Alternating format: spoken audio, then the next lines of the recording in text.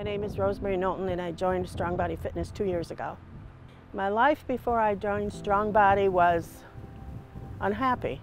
Primarily the reason I joined was because I didn't, I didn't like myself, the way I looked or the way I felt. My motivation for joining was for better health and to be able to have more flexibility and mobility as I age.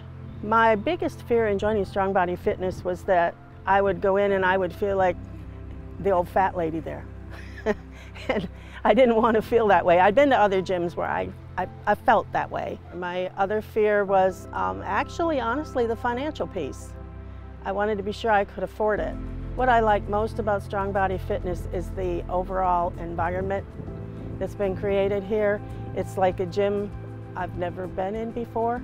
It's, a, it's an extended family and everybody is supportive. Doesn't matter what size or shape or age you are, you're just all in here for a common goal.